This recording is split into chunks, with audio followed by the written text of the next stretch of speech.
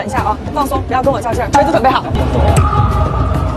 我在大使馆，然后遇到我们的粉丝小姐姐，结果还在我们家买的镯子还被她给摘不下来的话，那真的是职业滑铁卢。它疼不行，咱买算了。只要你确定你摘下来要买，我能让你无痛。因为小姐姐在我们这儿看上了一条冰冰同款的那个玻璃种的手镯，我真的很想把我那个一百五十万的镯子卖给你，必须捍卫我的职业权威啊！取手镯这块没有输过，这戴了多长时间？一年多，那你怎么买这么小的？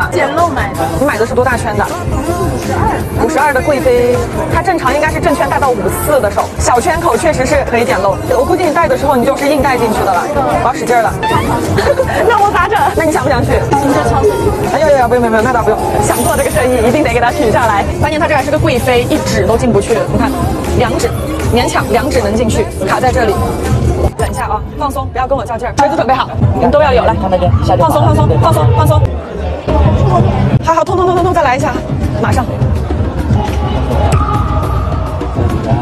好厉害，是吧？哇，哇，你好，厉害！是不是你没反应过来？没有很疼，但是这一下嗖一下，然后就疼了。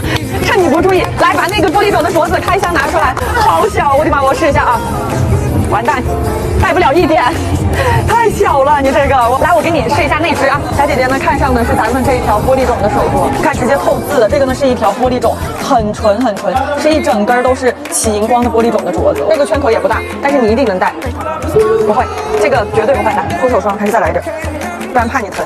你太厉害了，其实我们取代手镯，它就是三个关节，只要过了就好了。术业有专攻，这是我的饭碗呢。